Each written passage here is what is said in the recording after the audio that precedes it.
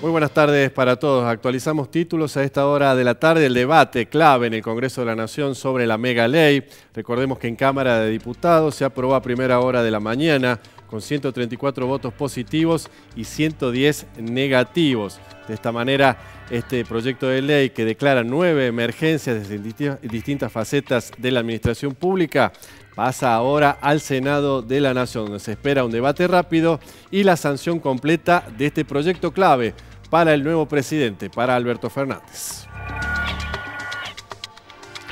Y Sánchez seguirá en el penal de Villa Urquiza a pesar de los intentos de su defensa y el planteo realizado ante el Tribunal de la Cámara Penal número 2. Finalmente el ex jefe de policía en los tiempos de José Alperovich seguirá alojado en el penal de Villa Urquiza cumpliendo su condena por encubrimiento en el caso Lemos.